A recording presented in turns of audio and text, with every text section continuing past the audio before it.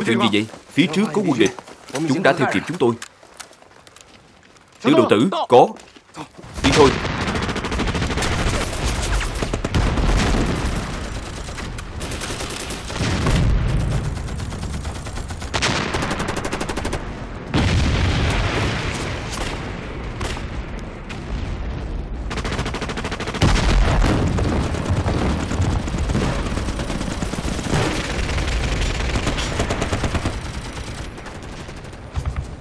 Mẹ nói chứ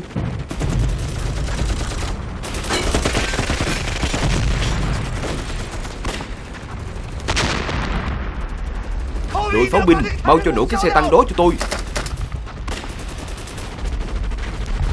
Tư lệnh.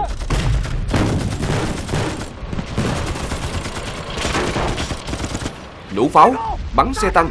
Cậu làm gì vậy? Chỉ có 6 viên đạn pháo thôi. Không phải anh nói, Để lại đánh thành sau. Rồi thuốc pháo đi. Bắn. Tư lệnh.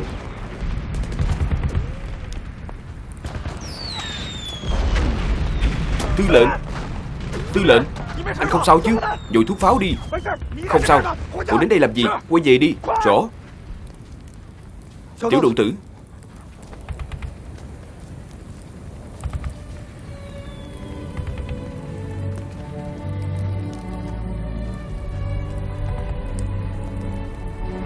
Tư lệnh.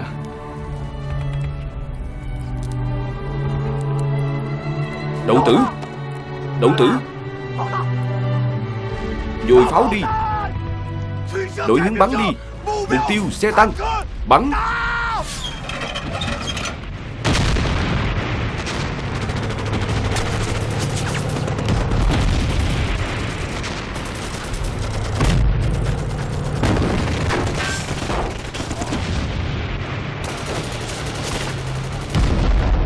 Mau lên.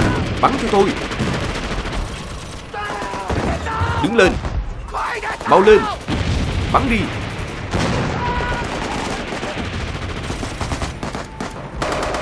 Ra tín hiệu đi. Rút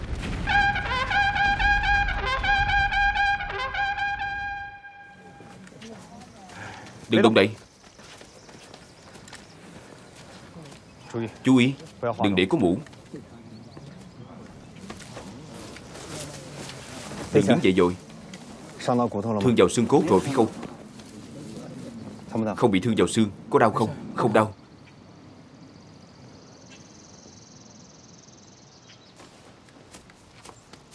Chưa rõ tình hình địch. Cứ như vậy cũng không thể thắng. Vậy Chúng ta thổi còi hiện xung phong là sao? Để cho quân địch nghe thôi. Còn chưa chính thức đánh Mà đã đụng phải đạn pháo của chúng rồi. Đó là thất bại nghiêm trọng của công tác trinh sát. Người quan hệ với bọn chúng là người đứng đầu huyện Là cảnh sát giao thông của đội 16 Trương Tích Vũ Quỵ Ngư. Trương Tích Vũ.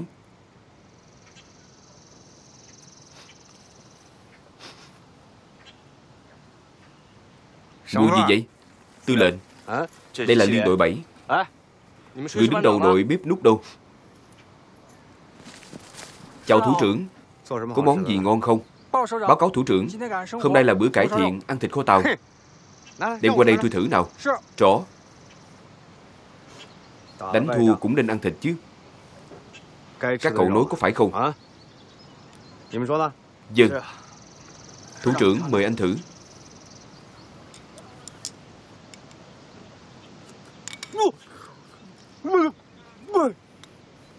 Tôi đi ăn cơm ở quán. Muốn ăn thêm miếng thịt Chỉ cần bỏ thêm tiền. Còn ăn của cậu thì chắc phải bỏ mạng mất. Mặt tư lệnh bị thương. Răng cũng bị gãy Nên không dai được đồ ăn cứng.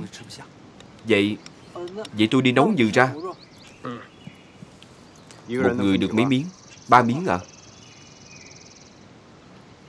Đưa nốt hai miếng của tôi kia cho tôi. Dân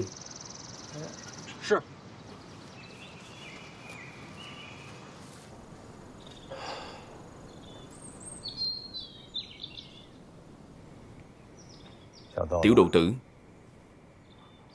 Ăn thịt xong thì lên đường nhé.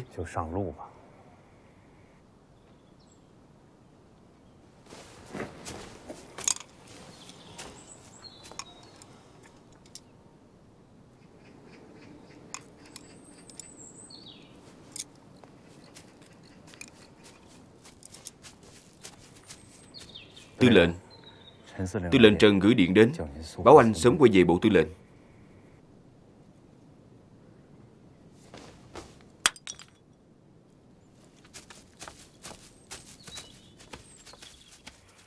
Ngài tư lệnh quả nhiên lợi hại. Hồng quân còn chưa đến thành. Cứ dọa cho chúng một trận. Để chúng biết sự lợi hại của ngài tư lệnh. Biết sự lợi hại của đội cảnh sát 16 Truyền lệnh thưởng cho các anh em trong đội cảnh sát Để cổ vũ sĩ khí. Rõ. Thưa ngài tư lệnh, Có điện từ Từ Châu. Đặc phái viên của Tổng tư lệnh Lưu Trì Ngày mai sẽ tới Để giám sát việc phòng vệ của thành. Chúng ta mau đi chuẩn bị. Tiền tỷ trần cho đặc phái viên đi. Cậu đi làm đi. Rõ.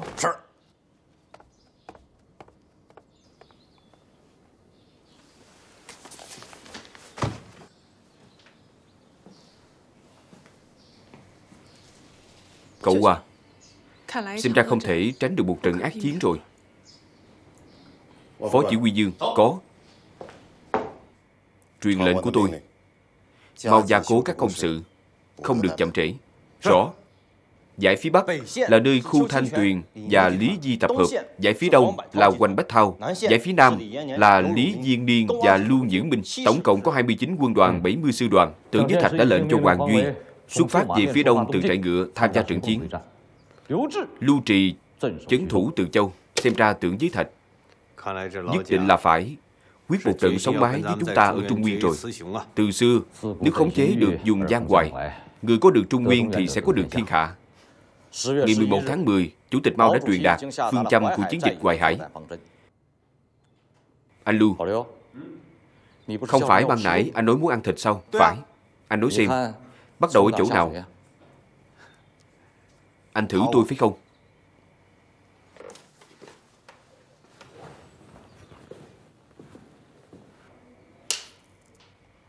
Ở đây. Quân ủy Trung ương một ngày nhận được ba bức điện báo. Tư lệnh Lưu Bá Thừa, tư lệnh Trần Nghị và chính ủy Đặng Tiểu Bình nữa. Còn có một bức điện là của đồng chí Túc Dụ. Ba bức điện báo cùng một nội dung Chỉ có một mục tiêu Chính là huyện Tô Ở Trung Nguyên Tưởng Lý Thạch đã bày ra một trận địa lớn Hoàng Bách Thao là đầu rắn Lý Diên Niên Lưu Nhữ Minh là phần đuôi. Huyện Tô là mình con rắn Bây giờ đầu rắn đuôi rắn đã bị chúng ta đánh vào rồi. Nếu như có thể chiếm được huyện Tô Thì chính là dùng một đao chém đứt thân con rắn Vậy thì con rắn lớn này của tưởng dưới thạch Sẽ là một con rắn chết Nhiệm vụ tấn công vào huyện Tô Nhất định là do chúng ta đảm nhận rồi Trung đội chính Lữ đoàn 80 phối hợp với chúng tôi Trung đội 4 và trung đội lưỡng quảng sẽ men theo bờ sông của huyện Tô của Từ Châu, tấn công theo hướng Đông và hướng Bắc. Quân chủ lực của tung đội chính và lữ đoàn quân khu sẽ tiến vào theo hướng Nam. Tung đội 1 sẽ làm đội dự bị. Còn nữa, đã có quyết định lần này tôi sẽ ở lại chấn để chỉ huy. Còn tổng chỉ huy trên chiến trường, anh Lưu, anh sẽ đảm nhiệm. Không thể không là tôi được. Chủ tịch có gửi điện tới, báo là tiến hành càng nhanh càng tốt, giám sát chặt chẽ. Tôi biết sức nặng của tám chữ này rồi.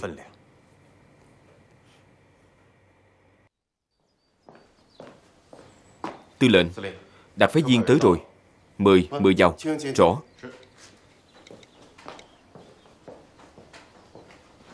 Anh Chấn Đoan. Chúc mừng anh Chấn Đoan thắng trận đầu tiên. Hồng quân còn chưa tiến đến thành Mà anh đã dán cho họ một cú rồi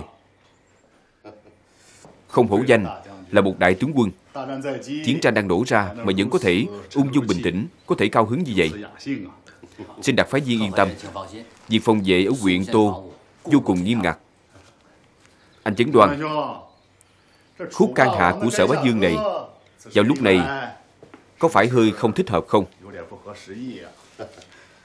Nơi đây chính là nơi mà khi hạng vũ thua trận, rồi cùng ngu cơ tự sát. Năm đó sở bá dương mất đi đại quyền, lòng đau như cắt. Vì thế mới hát khúc can hạng ca này.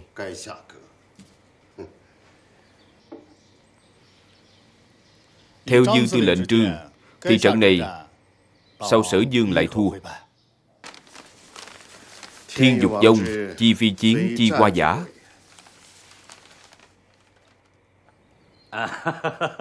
Hai vị đây thật là có nhã hứng. Có điều đặt phái viên Phải đến đây một chuyến. Chắc chắn không phải là đến để Thảo luận về văn thơ với tư lệnh trương.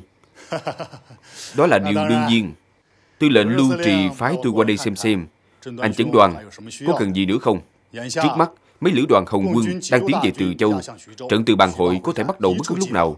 Một khi khai chiến, Nguyện tô của anh chấn đoan chính là một con đường trọng yếu trên chiến trường. Sao vậy? Tư lệnh lưu không yên tâm về Nguyện tô sao? Đâu có, đâu có.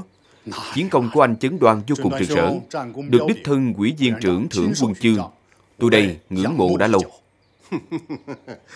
Nếu như tư lệnh lưu đã không yên tâm về Nguyện tô, vậy thì xin nhờ tham mưu trưởng đưa đặc phái viên đi khảo sát tình hình xem sao. Mười. Đặc phái viên mười. Vậy cung kính không bằng tuân mệnh rồi. Vậy tôi đi nhé.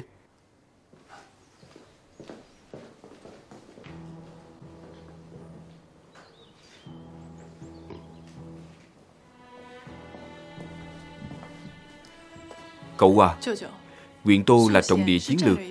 Nếu như tư lệnh lưu không yên tâm Thì cũng là lẽ thường tình Ta biết Tổng số lượng binh lính của địch vào khoảng hơn 13.000 người.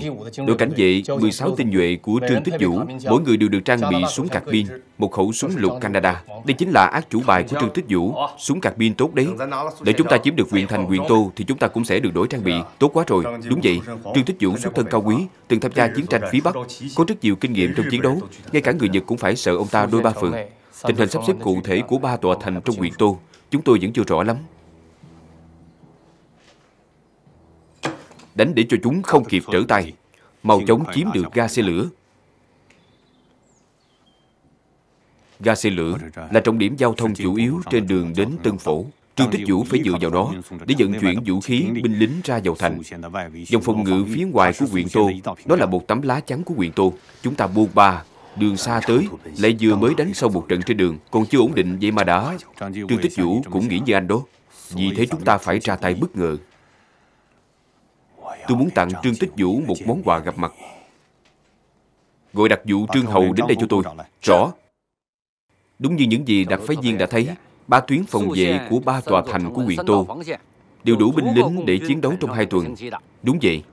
Quả đúng là vững như Âu vàng. Bây giờ đang là lúc cống hiến cho quốc gia. Ai dám trễ nải chứ? Có điều ba tòa thành đều cần thêm trọng binh canh giữ. Như vậy là phân chia binh sĩ từ cổ chí kim, phân chia binh lính là đại kỵ của nhà binh. Nếu như quân Cộng sản tập trung binh lực tấn công thì quá nguy hiểm. Về điểm này, thì tư lệnh trương của các anh không nghĩ đến sao? Cũng đúng ạ. À. Đặc phái viên đúng là chuyên gia, nói một câu trúng ngay trọng điểm. Có điều ngài yên tâm, chúng tôi sẽ có cách. Mời. Thuận tử, tư lệnh muốn đưa chúng ta đi đâu vậy? Đừng nói nữa, cứ đi theo đi.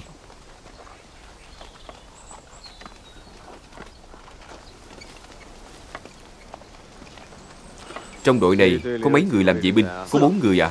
Bao nhiêu nam, bao nhiêu nữ? Hai nam, hai nữ à? Có bao nhiêu thương binh đang nằm trên cán Có hai à? Tù binh ở đâu? Tôi cảm thấy là ở đây à. Chính là người bị thương ở bả vai. Bởi vì anh ta đang đi ủng của quốc dân đảng. Tôi thấy không phải đâu. Người đi ủng đó, rõ ràng là đang phải lê chân theo. Rõ ràng là không vừa chân, Chắc chắn là lấy được của ai đó. Vậy cậu nói xem, Không phải của anh ta thì là ai? Theo tôi thấy, Người nằm trên cán mới đúng là tù binh. Tại sao ạ? À? Các cậu có để ý anh ta bị thương ở đâu không? Ở mông. Mông bị thương sao Nếu như không phải rút lui thì cũng là chạy trốn. Phải rồi tư lệnh chắc chắn là hắn. Được rồi. Có hai cái bàn chải. Xem ra là cái chức liên trưởng ban liên lạc đặc vụ này của cậu không phải vô ích Nhiệm vụ của hai cậu đi Hãy lập tức đến trạm xe lửa huyện Tô. Xóa sạch toàn bộ dấu vết ở đó cho tôi. Ngoài ra bắt một tên ở đó gì đây? Tư lệnh. Điều này nếu làm ban ngày khá khó Hay là để tối đi? Nếu không khó khăn thì cần cậu làm gì? Tôi không đợi được đến tối Rõ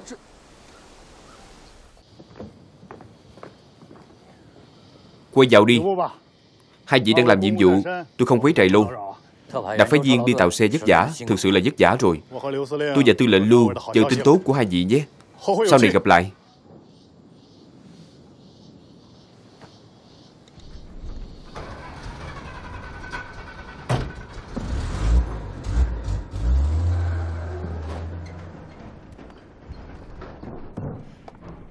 Tư lệnh, đặc phái viên có thể nói tốt về chúng ta trước mặt lưu trì không? Nguyện tô còn, chúng ta còn, nguyện tô mất, chúng ta chết. Nói hay nói tốt mà làm gì?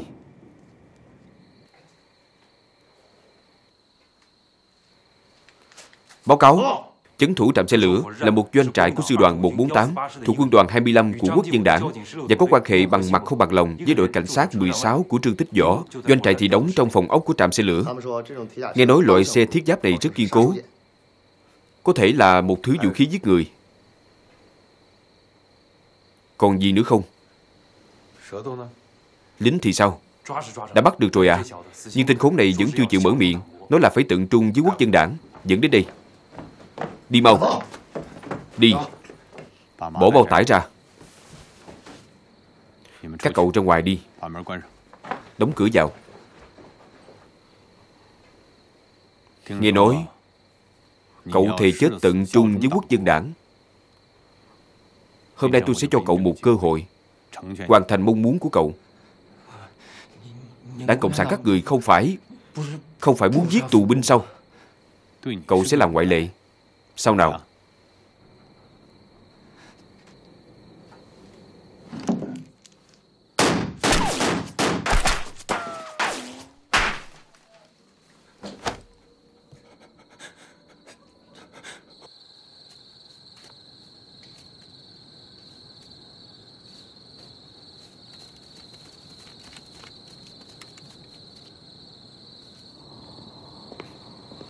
Khẩu lệnh Màn thầu, khẩu lệnh, má hoa Là tham mưu trương.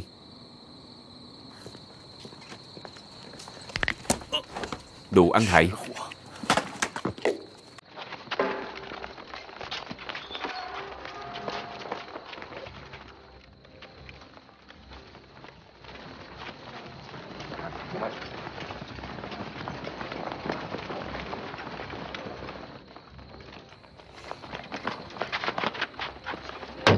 Đứng yên Tất cả không được cử động. Nằm xuống. Nằm xuống. Ra lệnh cho các người đó. Đừng có chống cự, Bỏ xuống xuống.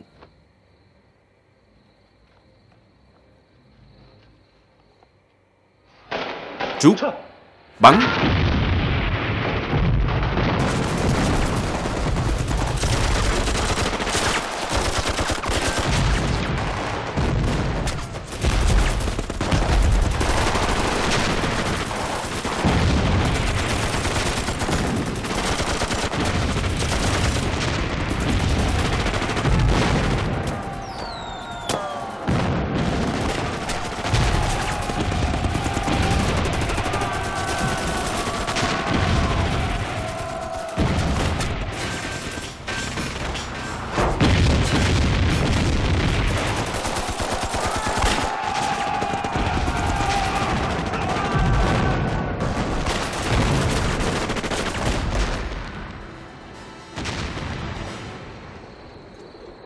Người mau ra khỏi lô cốt đố cho ta.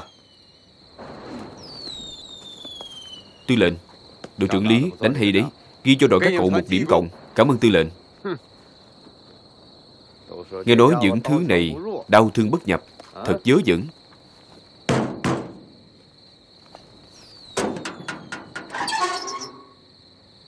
Thật dớ dẫn. Đánh nhau rồi mà anh vẫn còn ngồi uống rượu à? Mau mang qua đi. Rượu ngon đấy.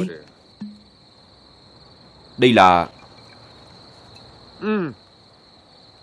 Rượu ngon Cầm này Cậu cũng muốn uống à? Tôi lệnh à. Loại rượu ngon này tôi mới chỉ nghe chứ chưa được nếm. Cậu cũng muốn uống. Để đánh vào trong quyện tô. Thì sẽ cho hai cậu uống thoải mái Giữ giúp tôi nhé Mau xuống đây Đưa đi. Đưa đi, đi.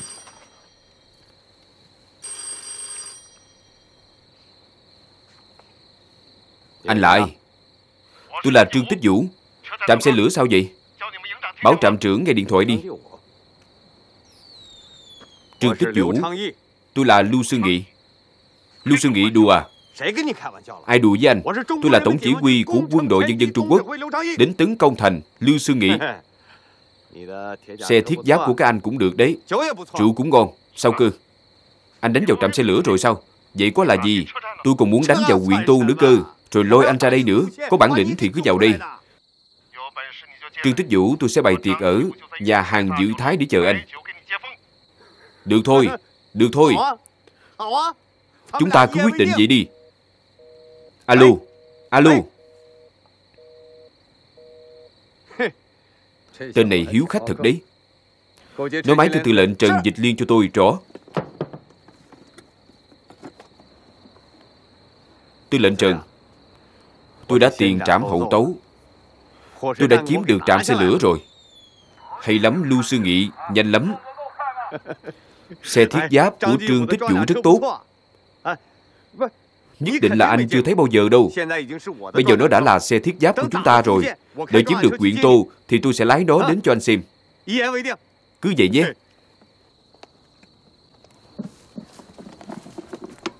Hai cậu hoàn thành xuất sắc nhiệm vụ. Chuyện tốt với thành đôi. Tôi giao nhiệm vụ cho hai cậu đi. Hai cậu là người địa phương Vậy hai cậu vào thành một chuyến Tìm hiểu thật cặn kẽ Những việc cần tìm hiểu cho tôi đã hiểu, đã hiểu. Một trong hai người các cậu Phải có một người đưa theo vợ.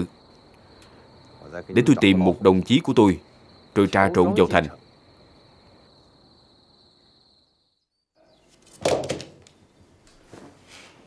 Đặc phái viên vừa rời đi thì đã xảy ra chuyện.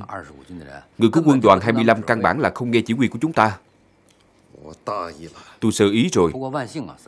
Có điều lần này may mắn nếu lần này đặc phái viên chưa đi Thì cái mũ này của chúng ta khó giữ rồi. Tham mưu trưởng Nếu mất đi quyền tô Thì cái khó giữ không chỉ có cái mũ của anh đâu. Thưa tư lệnh Chúng ta không nên Ngồi ở đây lo trước lo sau Lo được lo mất. Làm thế nào để bảo vệ quyền tô Mới là nhiệm vụ cấp bách nhưng cấp trên không chắc chắn sẽ cho quân chi viện. Lần này khí thế của Hồng quân rất mạnh. Chỉ trong chốc lát bọn họ đã quyết sạch quân đội vòng ngoài của chúng ta. Nếu cứ như vậy, thì trận chiến này e là không dễ dàng đâu.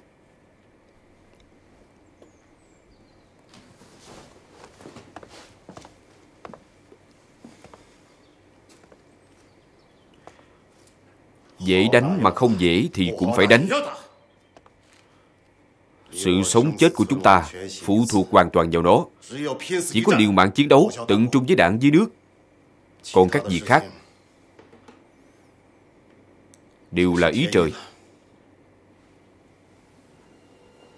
Xin Ngài hãy yên tâm. Dừng, dừng, Báo cáo. Báo cáo.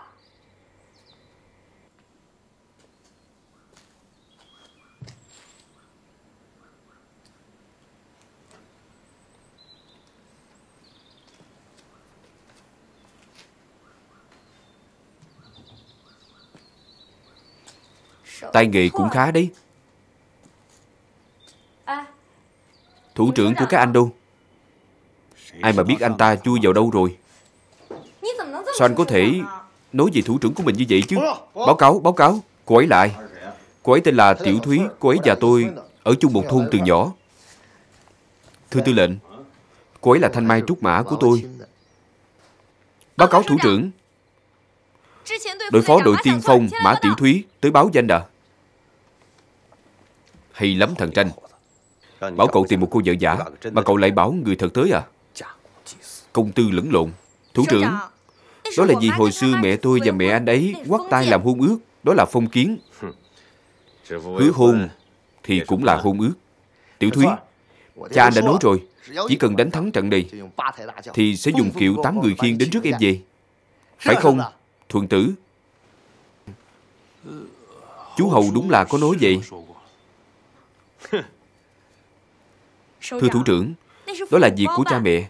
Bây giờ chúng ta đang ở trong khu vực giải phóng, đều được tự do yêu đương. Được thôi. Cô định tự do thế nào? Tôi muốn tìm tìm mẫu người giống như anh thuận tử. Một người trung thực chất phát như vậy, cũng lanh lợi như anh ấy. Ngoài ra, thì cũng có vài đặc điểm như tư lệnh lưu. Sao lại nói đến tôi Là một đại anh hùng như tư lệnh Lưu Nghe thấy gì chưa? Mẫu người mà cô ấy thích là anh hùng. Thưa tư lệnh Cậu của Tiểu Thúy có một tiệm mai trong thành. Tôi cảm thấy chuyện này chúng tôi đưa cô ấy theo Sẽ tiện hơn. Từng làng thân nương về nhà thăm cậu. Được. Không phải anh nói có một đồng chí nữa sao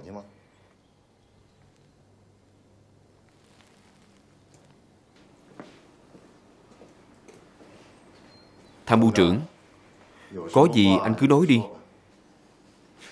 Thưa tư lệnh, Có những điều vốn không nên là tôi nhắc nhở anh. Nhưng mà, Anh nói đến A Qua. Cô ấy là cháu đàn ngoại của anh, Nhưng anh cũng đừng quên. Cô ấy được Cục Bảo mật huấn luyện. Trên danh nghĩa vẫn là chủ tiệm của phòng tình báo. Thực tế là tay mắt, Mà bên trên phái xuống giám sát chúng ta, Không thể không đề phòng. Tham mưu trưởng, Đề phòng ai vậy? Thưa tư lệnh Xe đã chuẩn bị xong, Có thể đi rồi.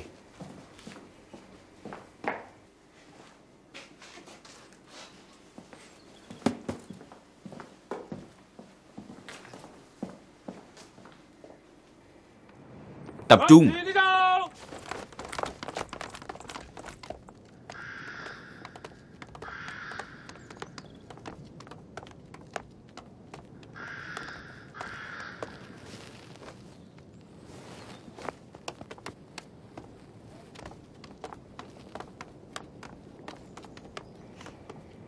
Gốc bắn của mọi người có cốc chết không? Không có à? Không có ư?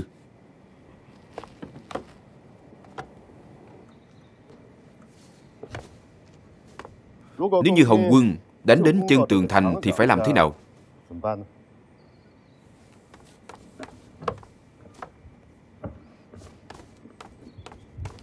Đó là gốc chết. Vậy phải làm sao? Phải chuẩn bị thêm nhiều lựu đạn. Nếu quân Cộng sản đến thì ném xuống. Rõ.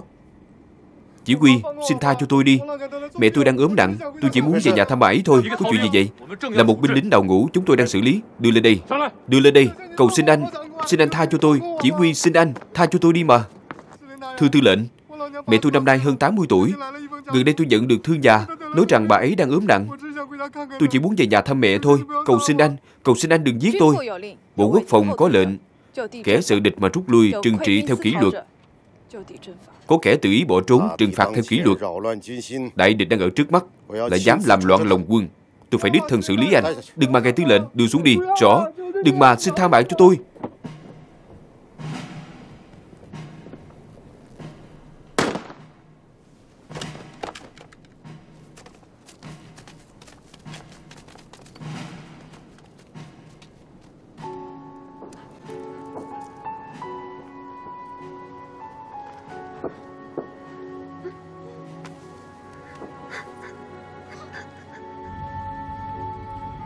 A Qua này Ta và cháu tuy là cậu cháu Nhưng đều đang làm nhiệm vụ. Nếu như cháu muốn làm gì Thì ta sẽ không ngăn cản đâu. Tiểu Thúy Uống nước đi. Tôi không uống đâu Anh uống đi Uống đi mà. Anh Thuận Tử Uống nước đi.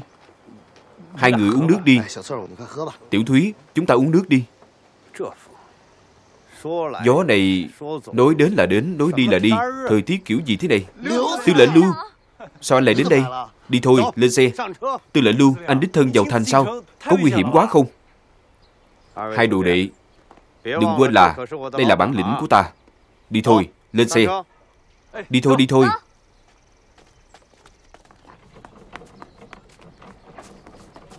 Hậu tử, phúc phận của cậu thực sự tốt đấy. Vậy thì phải cảm ơn mẹ tôi. Và mẹ Tiểu Thúy nữa. Tên nhóc này cũng có lương tâm đấy. Tiểu Thúy, Áo khoác đẹp lắm. Là cô tự mai sao Là vì thời gian hơi gấp. Tôi còn muốn định làm thêm một cái khăn nữa nhưng mà không kịp, Không sao. Để khi vào thành, tôi mua cho cô một chiếc. Trong thành chắc chắn có, Phải. Trong thành chắc chắn có. Tuy lệnh à Hay là anh lên xe ngồi đi, Để tôi dắt cho. Nói ít thôi, Làm gì có chuyện, ông chủ đi dắt xe. Vậy thì trò câu cá này còn có tác dụng gì nữa? Đây chính là con kênh đó. Ngày nắng thì là một con kênh cạn. Khi mưa là một con kênh nước bình thường, không có gì đặc biệt.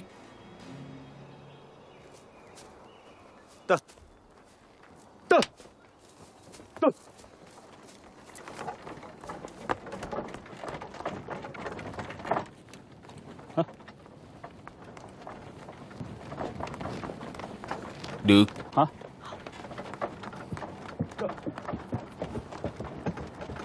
Dừng lại. Làm gì vậy? Đây là tương đương sao? Vào thành làm gì? Chỉ huy Chúng tôi vào thành thăm họ hàng ấy mà. Trong túi đó là cái gì? Mở ra xem nào. Chỉ huy Trong túi đó là một số loại giải thôi. Bảo anh mở thì cứ mở đi. Mau lên. Thuận tử, mở ra đi. Đều là giải thôi mà. Chỉ huy à Anh xem đều là chất liệu thượng hạng đó. Đắt lắm đó. Xòe tay ra xem nào. Tay Tay phải. Tay phải tay phải. Chỉ huy này Anh xem. Đưa tay phải ra Xòe tay ra. Chỉ huy chỉ huy.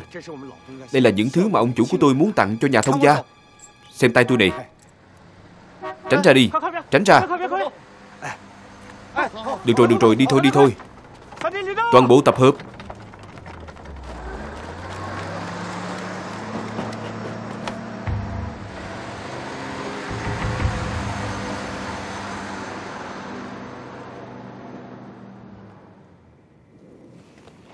Xem ra đây là một nhân vật lớn.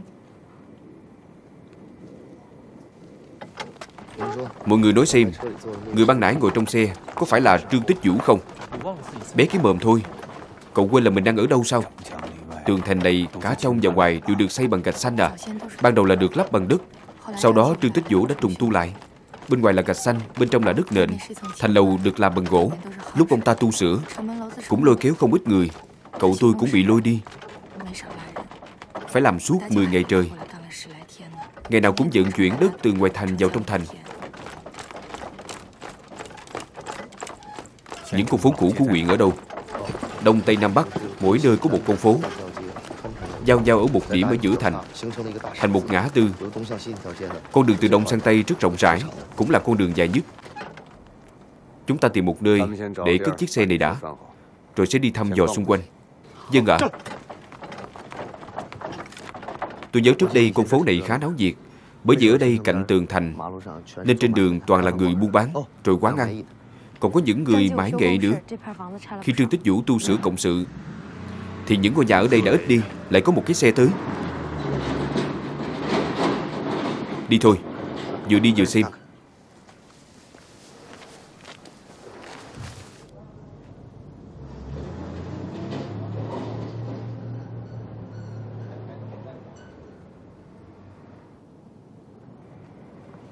Đi thôi Tối chúng ta lại đến. Hầu tử Cậu đến cổng phía Bắc. Thuận tử đến cửa phía Đông Tìm hiểu tất cả những gì cần tìm hiểu cho tôi. Tiểu Thúy Cô đến nhà cậu cô đi. Tìm hiểu xem tình hình kho đạn của địch thế nào.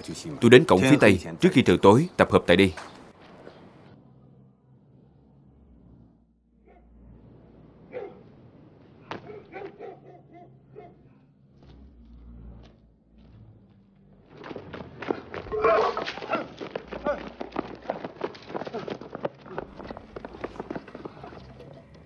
Mau đi thôi, mau lên.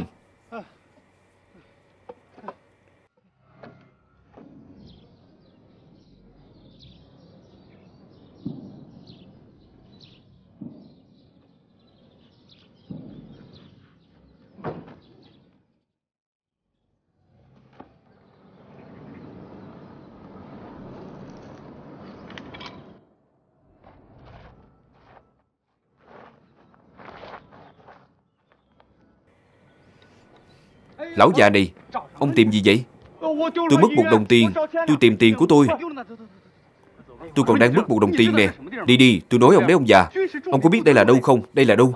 Đây là trọng điểm quân sự không được vào đâu. Đi đi đi mau đi. Tôi sẽ đi. Đi mau đi. Sau này đừng có lãng giảng ở đây nữa.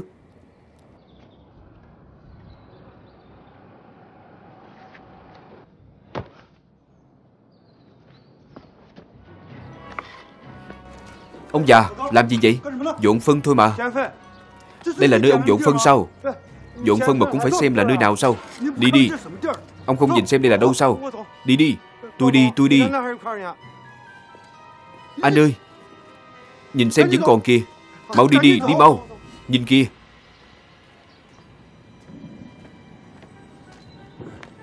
Nhìn gì hả?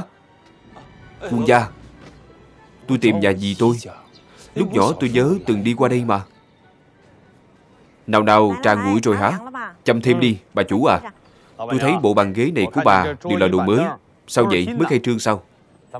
Nhìn cái đã biết ngay, Ông không phải là người địa phương rồi. Quán trà này của tôi vốn là ở phía Tây Thành, Ở đó làm ăn rất lâu rồi. Đây không phải là gì chuyện tu sửa công sự sao?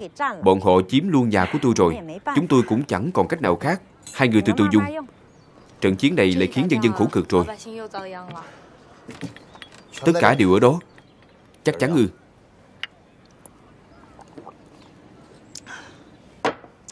Chắc chắn. Chắc chắn. Chắc chắn à. Tất cả những gì chúng ta cần đều ở đây. Tiểu Thúy Tặng em đây. Công tư lẫn lộn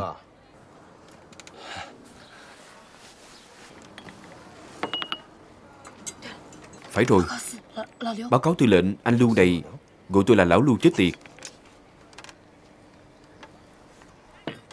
Cậu tôi nói, Hai hôm nay, Từ chiều đến nửa đêm, Đều có xe ra vào kho đạn.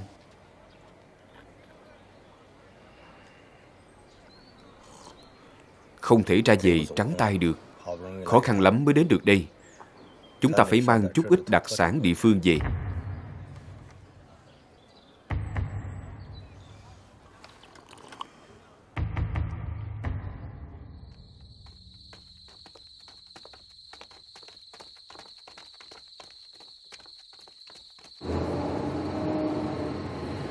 Dừng lại, dừng. Từ đâu đến? Chúng tôi là quân đoàn 25 thuộc sư đoàn 108 Có giấy tờ không? Có.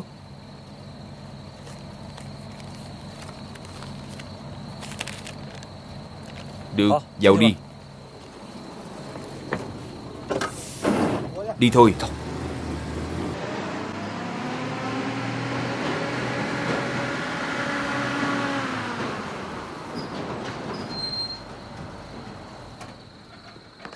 Đứng lên, chán sống rồi sao?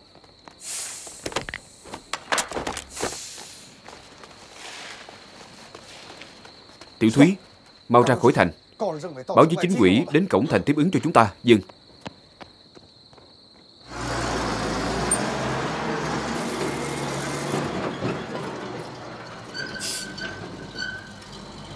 Đơn vị nào đó? Người anh em Chúng tôi là sư đoàn 105 Đến để lấy hàng. Giấy giới thiệu đâu? Có, có đây.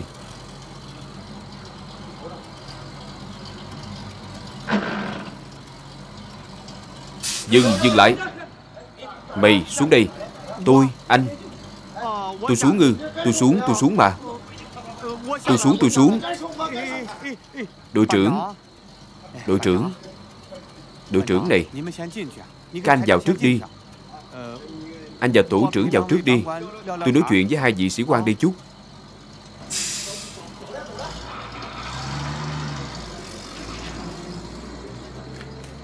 Hai vị chỉ huy tìm tôi có việc gì? Ban nãy tôi vừa nhìn thấy. Ban nãy tôi vừa nhìn thấy. Thứ đó trong túi anh. Cậu là thực sự không biết Hay là đang giả vờ với chúng tôi? Ôi ôi, các anh xem. Tôi đúng là có mắt mà không trồng. Nếu không thì tôi đã được làm tổ trưởng rồi.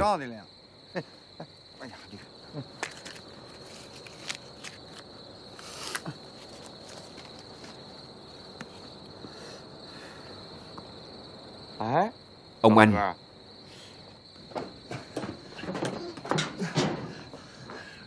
Thuận tử Không được để chuyện gì xảy ra với tư lệnh đâu. Không đâu. Tư lệnh bảo chúng ta chỉ lấy đạn pháo thôi. Câu này Nếu Lưu Sương Nghị nghe được Nếu như để tôi gặp được hắn Nếu như tôi bắt được hắn thì tôi cũng có thể lên làm đại đoàn trưởng. Béo này, Có phải tôi đang nằm mơ không? Cậu mau tỉnh lại đi. Nếu như đụng phải Lưu Sư Nghị Thì cậu đã sớm chết rồi. Còn ngồi đấy mà mơ mộng gì nữa? Ông anh này, Việc gì ông phải nghĩ thế? Việc gì phải quỷ đi quy phong của mình chứ? Tôi thấy Lưu Sư Nghị cũng chỉ là con hổ giấy thôi. Hổ giấy? Cậu không biết đấy thôi. Con người tên Lưu Sư Nghị này, Tà ma lắm. Chết rồi lại hồi sinh. Có một lần, đã nhập liệm vào quan tài rồi, Đóng cả đinh rồi, Mà anh đoán chuyện gì xảy ra, Chuyện gì? Ông ta lại bò ra khỏi được quan tài. Thật sao? Có thể là giả sao? Tôi nói cho hai người biết. Tôi nói cậu nghe. Ông ta không sợ súng ống, Đau thương bất nhập. Rửa mắt cho anh ta đi. Làm gì có chuyện đó chứ? Trời ạ. Anh đã từng gặp ông ta đâu. Làm sao biết là không thể chứ? Không thể nào, không thể nào.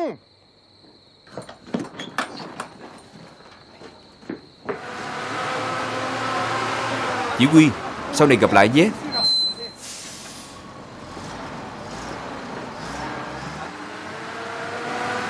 Khi các anh bắt được Lưu Sư Nghị được thăng chức, Thì đừng có quên tôi đấy nhé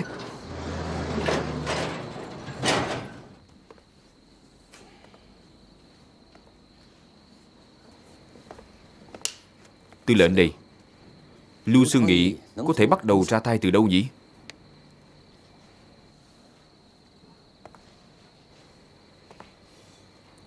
Anh nói xem. Thủ trưởng, giấy giới thiệu đâu? Đây. Cái xe vừa đi băng nãy là đạn pháo. Chết rồi, có chuyện rồi.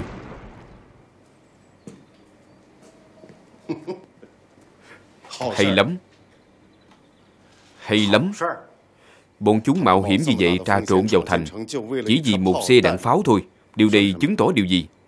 Chứng tỏ là chúng thiếu đạn dược Nên cần gấp đạn dược để tấn công. Tham mưu lý. Bọn chúng đi ra từ cổng nào? Từ cổng phía đông à Phía đông à Tư lệnh Chúng ta mau phái người giám sát cửa phía đông. Không được. Cô A Qua này Dẫn binh đánh trận không phải là việc của cô. Đảng Cộng sản sẽ không đánh vào cửa đông đâu. Ít nhất hiện giờ sẽ không đánh. Cô có tin tình báo của bên đó sao Chúng ta chuyển toàn bộ số dân cư đang sinh sống ở phía Tây sang phía Đông. Đây chính là lá chắn bằng sinh mạng. Phía Cộng sản có thể chỉ đạn pháo vào người dân không? Phó chỉ huy Dương Có. Anh đích thân ra khỏi thành một chuyến. Rõ. Lần này đến đó, chúng tôi đã thăm dò được cửa Đông và cửa Tây và sự bố trí công sự phòng vệ và binh lực ở cửa Bắc. Là thế này đi. Cổng Tây kiên cố, phòng thủ nghiêm ngặt. Ở đó đều là các tinh binh. Ở phía Đông thì định xây lên bức tường bằng mạng người. Muốn dùng người dân làm lá chắn Chúng đoán định chúng ta không dám mạo hiểm tấn công. Những vũ khí hạng nặng của chúng đều tập trung ở cửa đông và cửa tây. Cho dù chúng ta tấn công ở cửa nào, thì đại bản doanh cũng sẽ nhanh chóng tham gia trận chiến.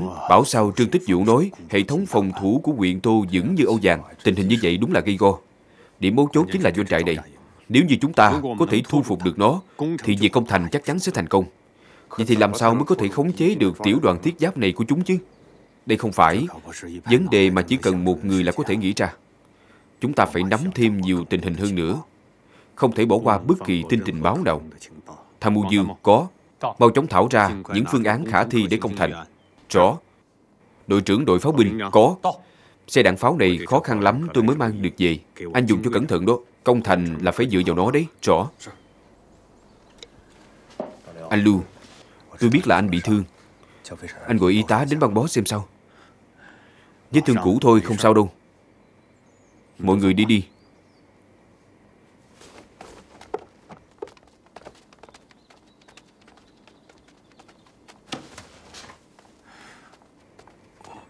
Tư lệnh để tôi băng bó cho anh. Không cần đâu. Cậu đi làm việc của mình đi. Không. Để tôi làm cho. Tôi ra lệnh cho cậu đấy. Ra ngoài đi. Rõ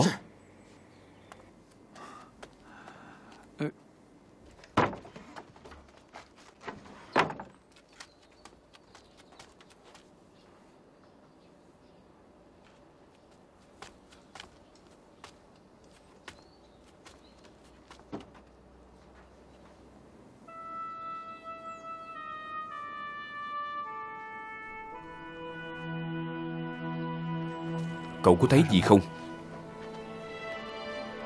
Tư lệnh lưu ấy à Từ khi còn làm hồng quân đến khi kháng chiến, Trên người có tới mười mấy vết thương. Báo cáo. Tư lệnh, Người anh có mùi rượu? Mũi thính như mũi chó ấy nhỉ? Có chuyện gì nói đi. Bắt được một tên thám tử ở trận địa, Thăm dò Đông Tây suốt một tiếng rồi.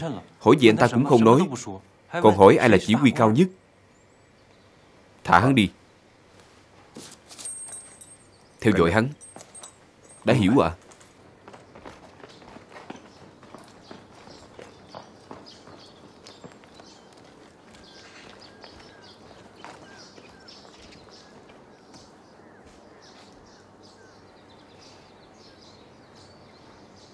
Báo cáo. Thám tử lại đến rồi. Lần này hình như là cố ý để tôi phát hiện ra hắn. Bắt hắn lại. Đưa đến đây. Rõ.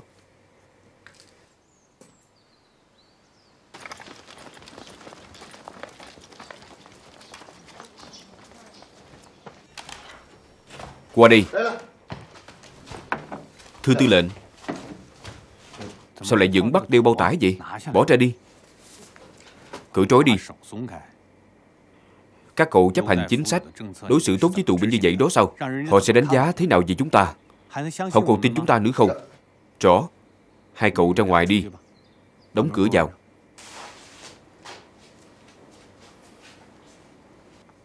Vừa nhìn, Đã biết cậu là người nhiều chữ nghĩa. Không phải cậu muốn gặp chỉ huy cấp cao sao? Tôi chính là tổng chỉ huy của quân giải phóng trong việc công thành Lưu Sư Nghị đây. Chính sách của chúng tôi là thẳng thắn khoan hồng, kháng cự thì nghiêm trị. Chỉ cần cậu khai báo thành thực, thì Lưu Sương Nghị tôi đảm bảo cậu được an toàn và cũng đảm bảo trả tự do cho cậu. Nếu không,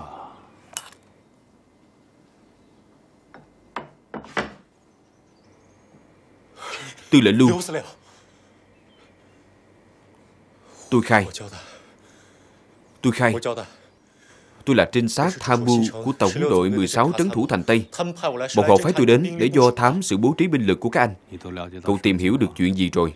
Tôi chưa tìm hiểu được gì thì bị bắt rồi. Trinh sát tham mưu. Vậy chắc chắn cậu hiểu rõ bố trí binh lực trong thành. Tôi biết. Vậy cậu nói xem.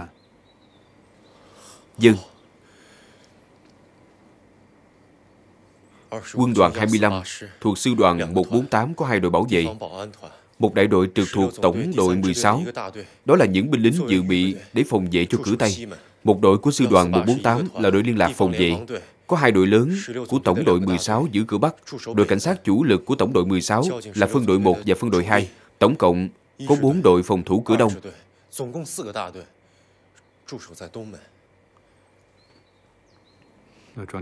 Vậy đoàn thiết giáp thì sao? Đoàn thiết giáp số 7 phòng vệ ở. Cậu đang nói dối. Tư lệnh Lưu Tư lệnh Lưu Những gì tôi nói đều là sự thật. Đội xe thiết giáp ở giữa phía đông và phía tây đợi lệnh À phải, quá ra là như vậy. Nhưng mà từ sau khi các anh cướp được đạn pháo và chạy từ phía đông, thì trưởng tích vũ đã ra lệnh chuyển phần lớn số xe tăng của đội thiết giáp đến cửa đông rồi.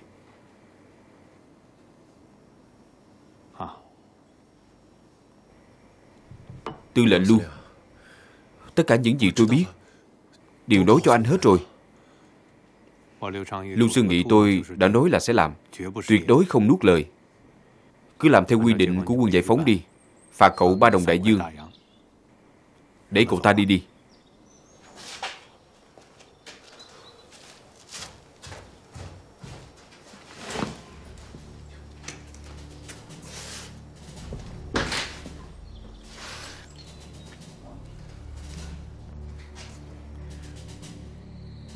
Ngoài ra, Phái một số người âm thầm ra khỏi thành. Nhớ kỹ, Lần này không được để lộ thân phận. Rõ. Tôi sẽ đi sắp xếp.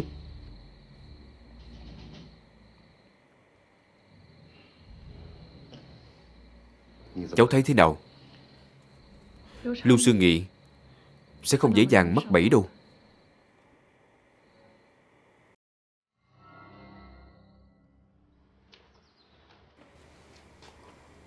Anh giả, Đối tôi nghe quan điểm của anh. Chúng ta không nói về những tin tình báo khác. Trương Tích Vũ để tên thám tử này đưa tin tình báo cho chúng ta. Chính là để làm nhiễu sự phán đoán của chúng ta. Vậy thì chúng ta cứ thật mà giả, giả mà thật. Tiểu Thúy. Tiểu Thúy. Em hoàng chiếc khăn đỏ này đẹp thật đấy. Khăn nào cơ? Là cái cậu ta mua hay là anh mua? Hai cái giống hệt nhau, tôi không phân biệt được. Lấy cái nào thì hoàng cái đó. Nào để anh giúp Hai thằng nhóc này chạy đến đây thể hiện sự chăm chỉ à Chào tư lệnh Tư lệnh à Tiểu Thúy đang dẫn dắt đội nữ dân binh sản xuất cho chúng ta mấy trăm ngàn cân lương thực, còn làm hàng ngàn đôi giày. Điều này tôi biết chứ, vì thế mới nói, chúng tôi giúp cô ấy mấy việc này cũng là nên làm thôi. Thưa tư lệnh, có phải là có nhiệm vụ không? Đúng vậy, là nhiệm vụ gì? Vào thành đưa tin. Này cậu thanh niên, đợi đã. Đây là chữ gì vậy? Đây là truyền đơn mà đảng Cộng sản phát đó. Họ nói là sắp đánh nhau, bảo chúng ta tránh khỏi cửa đông, phải chuyển nhà thôi. Vậy căn nhà này của tôi thì sao? Con tôi cũng đang không ở nhà. Tôi già thế này rồi, còn ở đâu được. Bà cứ yên tâm đi. Đảng Cộng sản tuyên bố rồi. Mỗi người chỉ cần nhớ vị trí, số nhà của mình. Đợi chiến tranh kết thúc, sẽ trả nhà nguyên niêm phong. Có bất kỳ tổn thất nào sẽ bồi thường gấp 3 lần. Ngôi nhà này luôn luôn là của bà. Bà ơi, bà phải sống ở đây đến trăm tuổi nhé. Chỉ là một bức thư hỏi chuyện gia đình. Tương tiết tài năng, danh tướng kháng dực, Tận trung với tưởng, tiếng xấu đồn xa, bỏ tối theo sáng mới là con đường mới.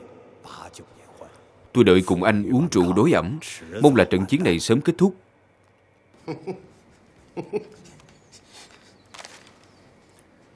Những người dân ở cửa đông gần như đã dọn đi hết rồi.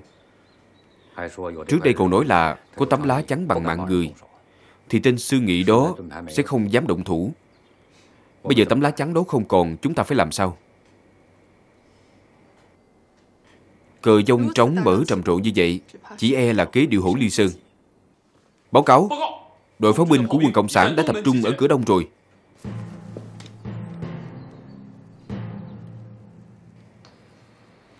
Báo cáo Vào đi.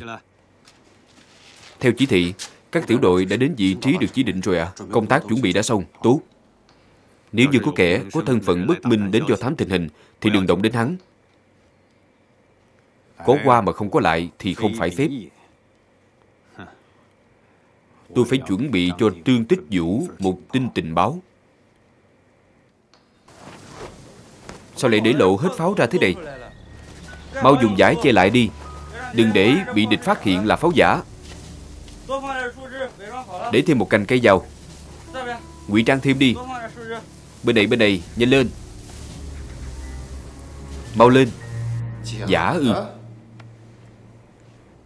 Lưu Sư Nghị muốn chúng ta điều đội thiết giáp đến cửa đông. Nếu như vậy thì chỉ cần hắn đánh vào cửa Tây thì có thể giành thắng lợi rồi. Tên Lưu Sư Nghị này Rốt cuộc có chiêu thức gì đã quá rõ rồi còn gì. Thưa tư lệnh Dương Đông kích Tây cũng chưa chắc. Nếu như là Dương Đông kích Tây Thì hắn sẽ nên che giấu một cách chu toàn chứ. Sao lại có thể dễ dàng để chúng ta phát hiện ra Những khẩu pháo ở cửa đông là giả. Hắn không ngờ rằng người của chúng ta lại trà trộn vào trong dân chúng. Thưa tư lệnh, đây là đòn tâm lý. Tiên phát chưa chắc đã chế được nhân, mà có khi còn mất đi thời cơ. Dĩ bất biến ứng dạng biến. Trương Tích Vũ cũng bình tĩnh nhỉ? Báo cáo. Tiểu Thúy, sao em lại đến đây? Trời lạnh rồi. Đội tiên phong phải may y phục cho bộ đội. Đồ của tư lệnh là do tôi làm. Tư lệnh đang suy nghĩ Lát cô quay lại nhé Tôi chỉ đau một chút thôi Không làm phiền anh ấy đâu Đo đi Tiểu Thúy có lòng như vậy Thì chúng ta không nên làm cô ấy buồn Tư lệnh Lương anh có việc gì lo nghĩ sao Anh nói tôi nghe xem Tiểu Thúy đừng nói lên tin Nói ra cũng chẳng sao Tiểu Thúy này nếu như cô ngồi vào vị trí tổng tư lệnh tấn công này, thì cô thử nói xem cô sẽ đánh cổng nào trước. Đầu tiên, đầu tiên sẽ đánh cửa đông. Tại sao? Bởi vì không phải chúng ta đã khuyên toàn bộ người dân ở cửa đông đi rồi sao? Vậy thì đánh bên đó trước đi. Vì thế, chắc chắn Trương Tích Vũ đang phải trọng binh canh giữ cửa đông. Vậy thì đánh cửa Tây. Tất cả những vũ khí hạng nặng của địch đều ở cửa Tây. Càng khó hơn. Vậy, vậy đánh cửa Bắc báo cáo cho tất cả những chỉ huy đó lập tức đến đây họp. Nếu như Trương Tích Vũ không tích cực chiến đấu, vào lúc cần thiết, cô đừng phụ lại tâm quyết của quốc dân đảng với cô. Tôi nhất định sẽ không như vậy đâu.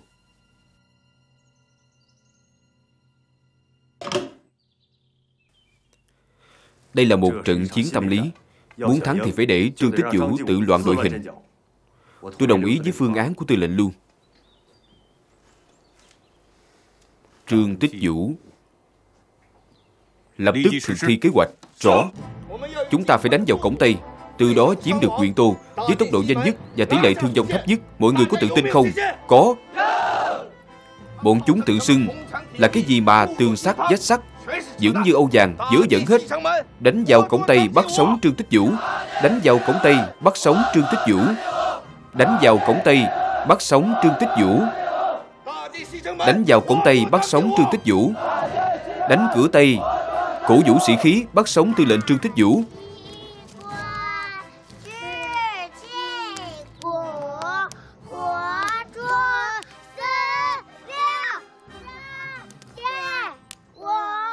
Quân Cộng sản đã mở một hội thị Đang tập hợp ở ngoài cửa Tây. Đến bài đồng giao bọn trẻ con hát. Hát gì? Đánh cửa Tây, Cổ vũ sĩ khí, Bắt sống tư lệnh Trương Tích Vũ. Đánh vào cổng Tây, Bắt sống Trương Tích Vũ. Đánh vào cổng Tây, Bắt sống Trương Tích Vũ.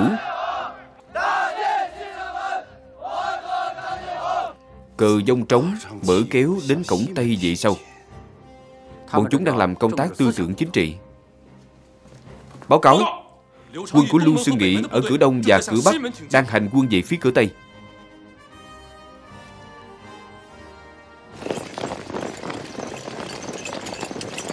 Báo cáo.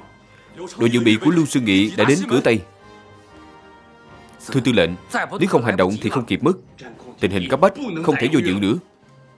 Triển khai phương án 1 Lệnh cho đội thiết giáp Ngày 15 trước khi trời sáng Tiến vào trận địa cửa Tây. Rõ. Tiểu Thúy, Có chuyện gì vậy? Bọn anh sắp phải đi tập trung rồi. Có món đồ muốn đưa cho hai anh. Hai chúng tôi ư. Đưa tay ra đi.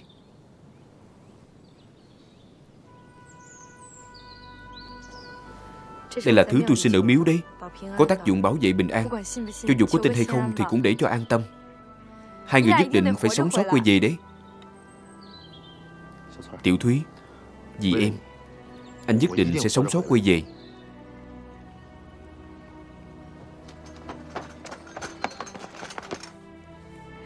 Hứa nhé Hai người mãi mãi là anh trai tốt của tôi. Ba chúng ta là người một nhà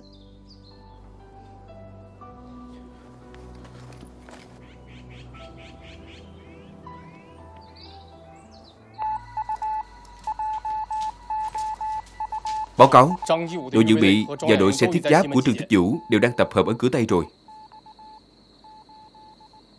Đốt lửa trại trong các trận địa to lên. Gọi một số cán bộ địa phương làm công tác tư tưởng để phân tán sự chú ý của địch. Trừ một số binh lính ở lại trận địa, thì những người khác gồm các đội dự bị bỏ ba lô đi, chỉ đem theo vũ khí đạn dược gọn nhẹ tiến lên, hành quân bí mật với tốc độ nhanh nhất.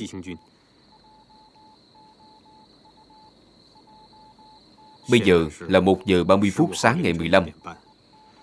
Lúc 4 giờ 30 sáng ngày 15, phải đến được cửa đông thâm nhập vào trận địa. 5 giờ thì bắt đầu tấn công. Đội trưởng đội pháo binh có. Bây giờ người có công việc khó khăn nhất chính là cậu. Bất kể dùng cách gì, thì trước 4 giờ rưỡi sáng, cũng phải chuyển toàn bộ số pháo đến cửa Đông Thành cho tôi. Sự thành bại của việc công thành là nằm ở cậu đó. Rõ. Đồng Hương ơi, Đồng Hương ơi, đừng động súng gươm. vốn là người nghèo, phải chống lại tưởng. Trên có cha mẹ, dưới có vợ con. Một khi có bất trắc, khó còn gặp được vợ con. Đồng Hương ơi, Đồng Hương ơi, quân Cộng sản đang muốn làm dao động lòng quân của chúng ta. Mọi người hãy quan sát nghiêm túc đi. Tiền đồ rộng mở. Đang nghĩ gì vậy? Đừng có nghe Cộng sản tuyên truyền, tập trung vào.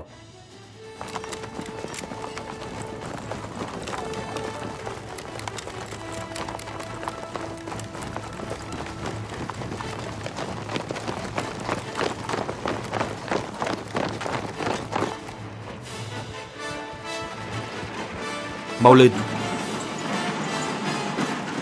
Đội trưởng, Tư lệnh Lưu Sao anh lại đến đây? Những khẩu pháo này Phải được chuyển đến cửa đông đúng giờ. Có thể chiếm được cửa đông hay không Phải dựa vào cậu đó. Rõ, Anh yên tâm.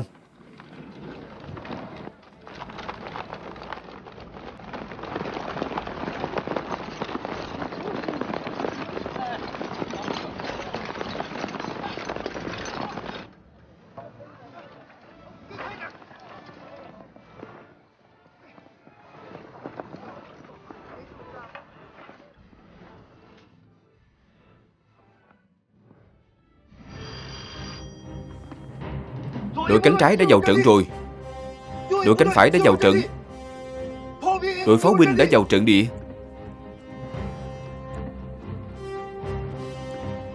Trương Tích Vũ Tỉnh giấc đi thôi. Đánh. Bắn.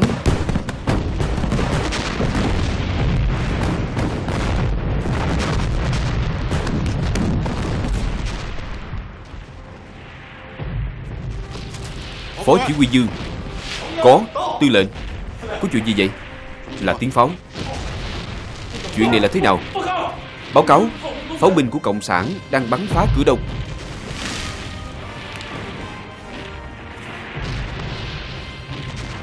Không thể nào. Nhất định là đánh lạc hướng. Nhất định là đánh lạc hướng.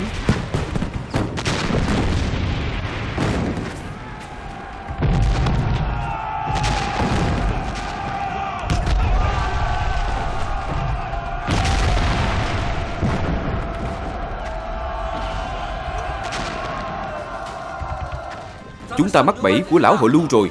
Truyền lệnh. Các đội đang bao vây phía Tây, Hãy đánh lạc hướng. Giả vờ đánh vào cửa Tây. Làm càng khoa trương càng tốt. Cố gắng cầm chân địch ở phía Tây. Rõ. Để ta xem tên Trương Tích Vũ này. Alo. Quân Cộng sản ở cổng Tây bắt đầu tấn công. Sau cơ nói lại đi. Quân Cộng sản ở ngoài cổng Tây bắt đầu tấn công. Tôi ở cổng Đông. Quân Cộng sản bắt đầu tấn công Xin hãy chi diện. Bên nào là thật, bên nào là giả đi. Hãy điều đội thiết giáp và đội dự bị ở phía Tây Qua chi diện cho cửa Đông đi. Được thôi. Phải thật nhanh. E là không kịp rồi. Đào mương phân cách. Đào mương phân cách. Để giữ Lưu sư Nghị ở ngoài thành Rõ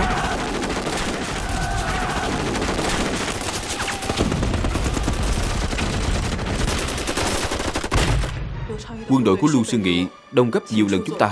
Xin cấp trên điều động binh lính ở Từ Châu đến chi viện, Nếu không là khó giữ quyền tôn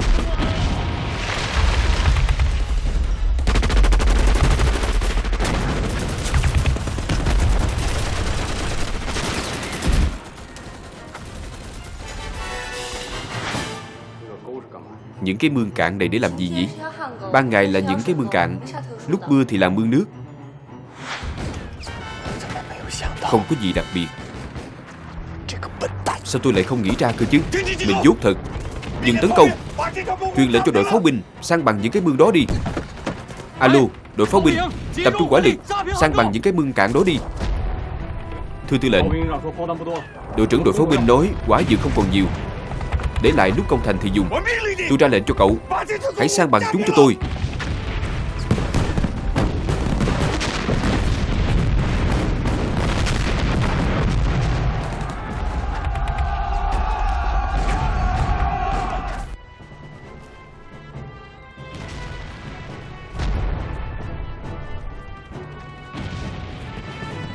Xe đạn pháo đó. Chắc chúng đã dùng hết rồi.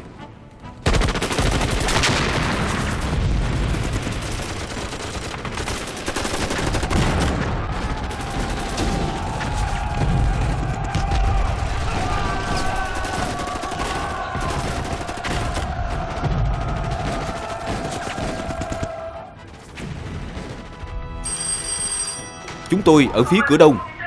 Quân Cộng sản đã chiếm được các mương cạn Xin hãy chi viện. Cộng sản chiếm được mương cạn rồi. Đội dự bị tới đâu rồi? Đội thiết giáp tới đâu rồi? Không kịp nữa rồi. Hồi đã bảo vệ thiết giáp phản công Rõ.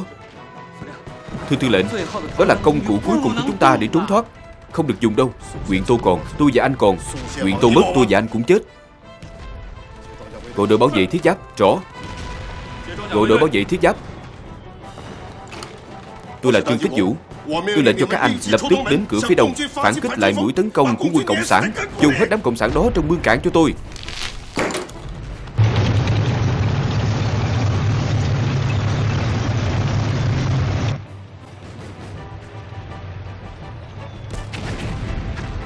Lệnh cho pháo binh nhắm vào các xe tăng.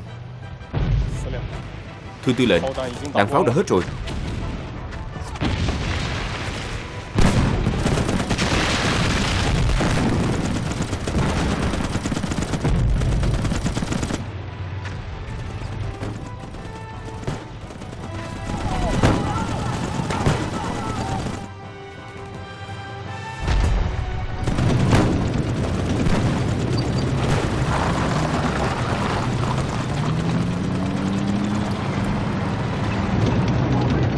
Liên trưởng liên đội đặc vụ cảm tử báo cáo. Đến lúc rồi, Anh hạ lệnh đi. Tôi sẽ dẫn đội tiến lên. Không, tôi sẽ đi. Thuận tử. Tôi đã hứa với Tiểu Thúy, Phải lấy quân chương để làm xính lễ tặng cô ấy. Tư lệnh, Anh sẽ không bảo tôi công tư lẫn lộn đấy chứ. Tôi xin anh lần này, Hãy để cho tôi làm gì có lợi ích cho cá nhân đi. Hầu tử, Cậu nhớ kỹ này. Tiểu Thúy vẫn còn sống. Đi đi. Dân Hầu tử. Bảo trọng.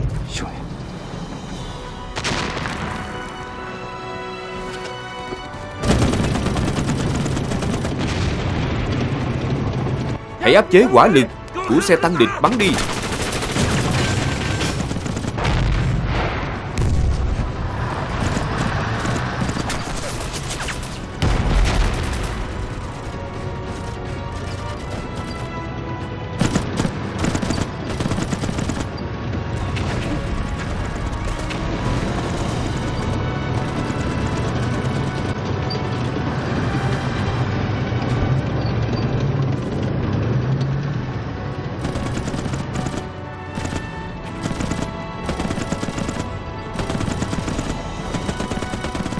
Áp chế quả lực của xe tăng địch Bắn đi bắn đi.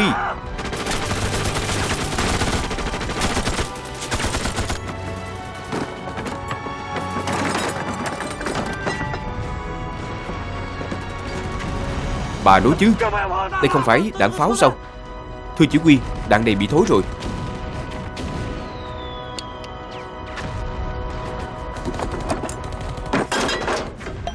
Nhắm vào xe tăng.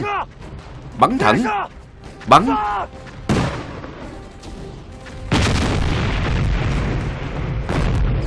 Làm tốt lắm. Lệnh cho đội pháo binh Bắn hai cái xe tăng đó đi.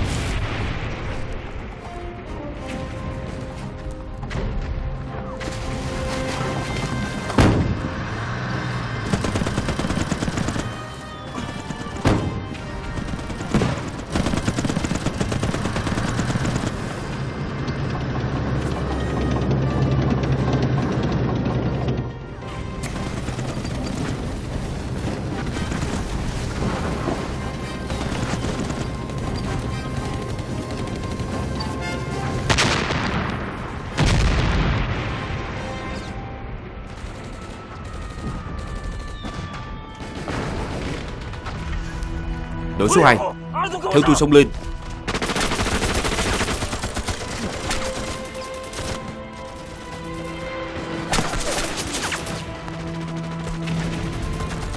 Yểm hộ cho tôi.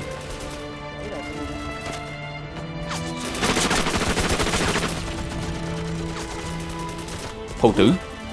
Hầu tử.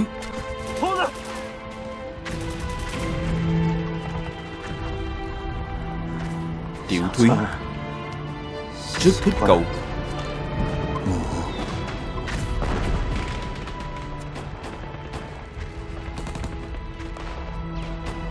Hầu tử. Hầu tử. Hầu tử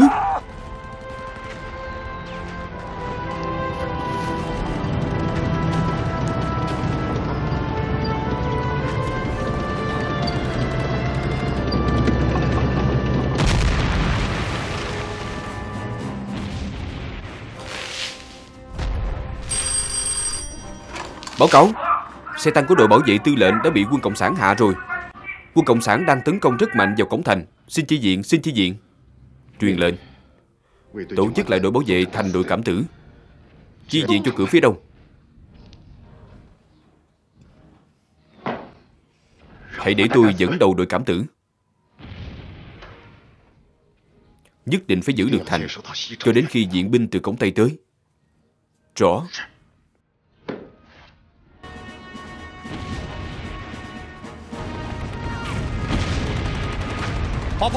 Bộ đội trưởng đội pháo binh qua đây.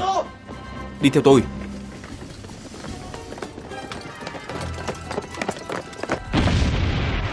Báo cáo. Đạn pháo đã hết rồi. Có nhìn thấy không? Xe tăng đó hình như không bị hư hại nặng lắm. Tên tưởng tử và cậu không phải hay dọc dạch sao? Cậu nghĩ cách làm nốt hoạt động của tôi. Anh nói sao? Tôi nói cậu nhất định Phải làm cho cái xe tăng đó hoạt động lại cho tôi Rõ, Đi theo tôi. Anh không thể lên được. Tư lệnh Trần bảo tôi theo sát anh. Anh muốn xông lên thì phải được tư lệnh Trần đồng ý. Anh bạn, Coi như tôi xin anh. Không còn thời gian đâu. Nếu như diện binh của Trương Tích Vũ Ở cửa Tây đến kịp, Thì tất cả những gì chúng ta làm Đều vô nghĩa cả. Ở đây, tôi giao lại cho anh. Chỉ huy yểm hộ. Đi thôi. Tôi sẽ bảo vệ anh ấy.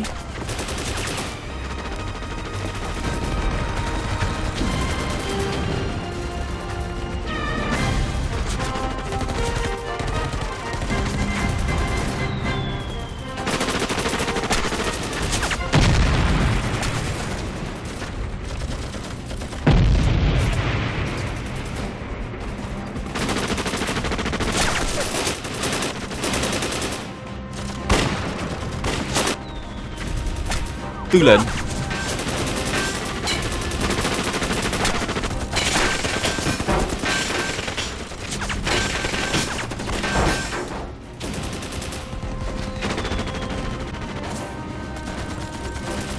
Thuận tưởng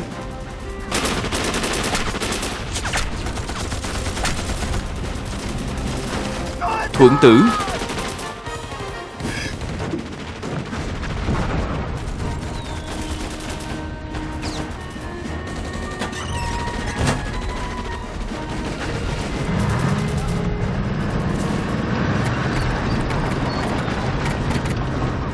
Sao xe tăng lại mất đầu?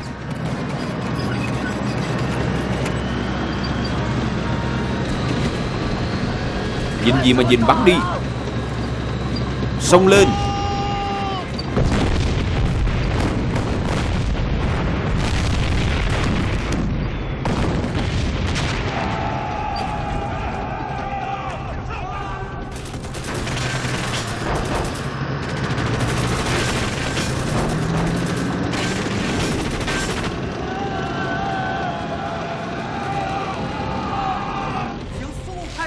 Xin phái, không quân đến chi viện. Phá hủy trận địa pháo của quân Cộng sản, Càng nhanh càng tốt. Quân Cộng sản tấn công thành đông rồi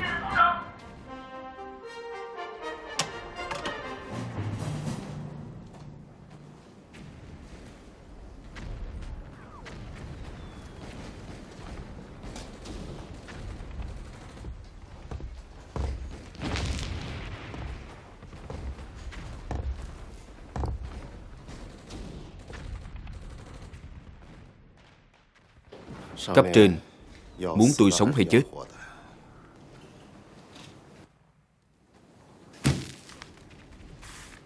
Chấp hành đi. Ta không trách cháu đâu. Cậu Để cháu đi rót chén trà cho cậu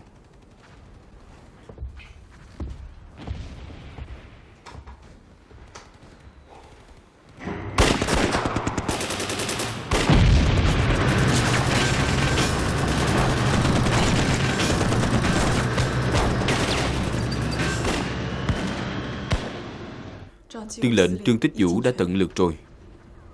Tôi không hề tư lợi.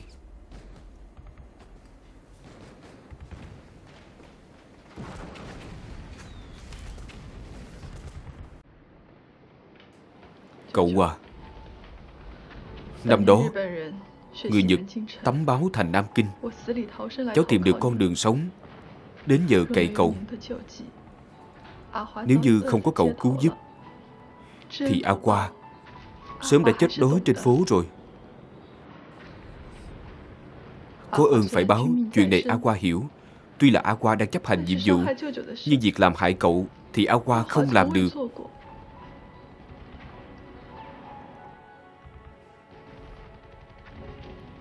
Cậu à Cậu đi đi. Nguyện tô mất rồi. Ta thà chết để tận trung với đảng quốc dân.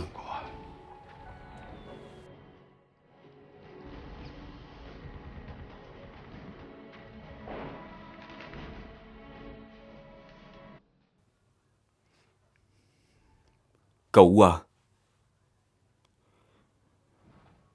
Cậu phải sống.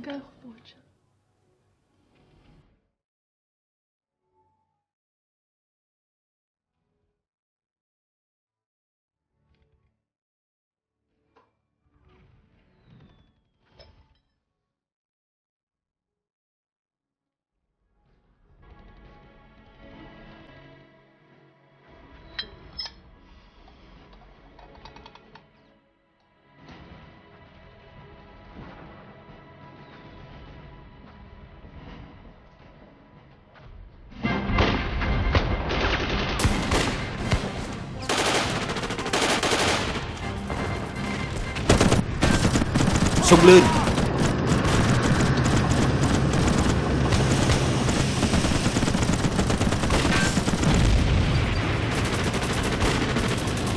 Nhất định phải bắt sống Trương Thích Vũ, Bắt sống Trương Thích Vũ.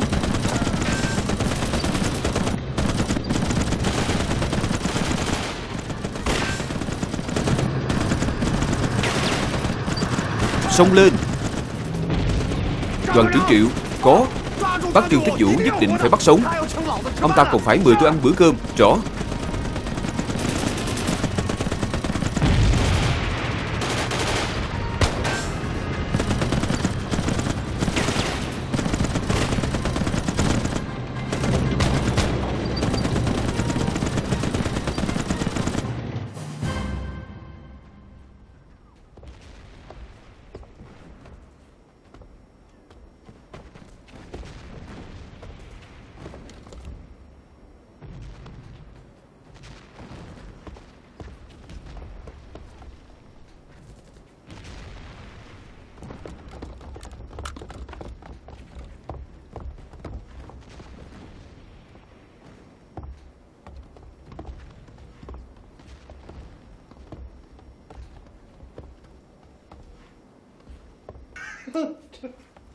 trương.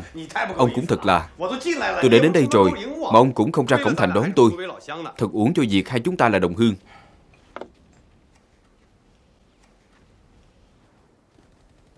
Chúng ta đã từng gặp nhau. Tôi thua rồi. Ông lúc thật lúc giả, Lúc có lúc không.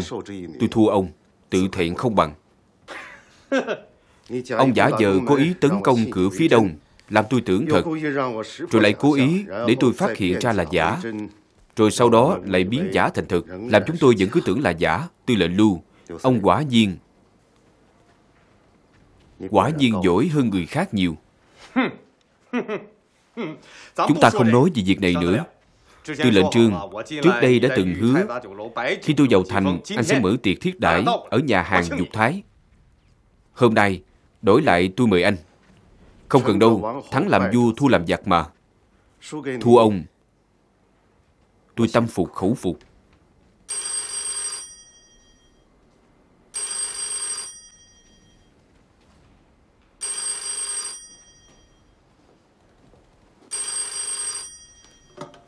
Alo, là tư lệnh trương của huyện Tô sao? Tôi là tham mưu trưởng. Tình hình bên anh sao rồi? Bảo anh ta, huyện Tô vẫn nằm trong tay các người.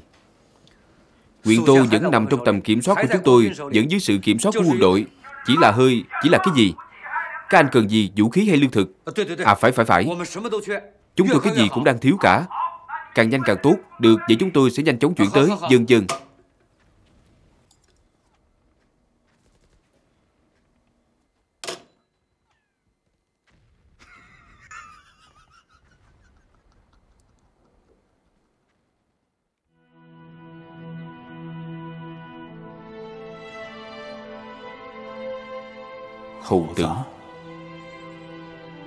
Thuận tử. Tôi đến thăm hai cậu đây.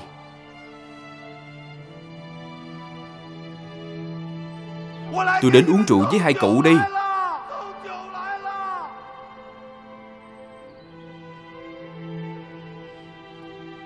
Tôi đến uống rượu với hai cậu đây.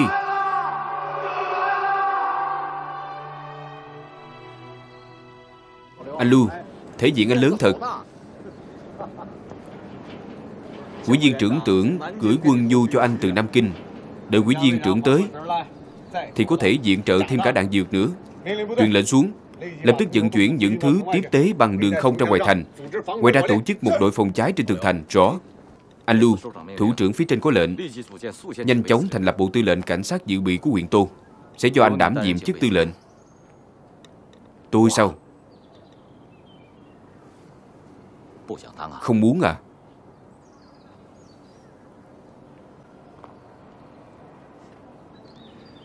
Nhất định là tôi sẽ làm tốt hơn Trương Tích Vũ